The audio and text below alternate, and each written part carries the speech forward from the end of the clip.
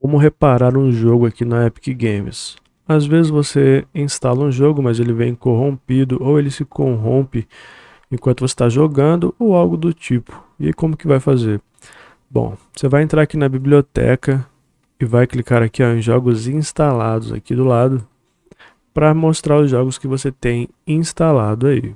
Você vai clicar nesse jogo então que está com problema, nesses três pontinhos e aí, você vai clicar aqui na opção gerenciar. Aqui em gerenciar, você vai clicar aqui na opção de verificar arquivos, tá? não vou clicar aqui porque nesse jogo ali ele é um jogo grande e vai demorar um pouco, tá? Mas então você clica aqui em verificar e aí o jogo vai começar a verificar e quando ficar 100% você tenta aí executar o jogo de novo, tá? Então é isso, eu tirei sua dúvida, deixa o like, se inscreve aí e até mais.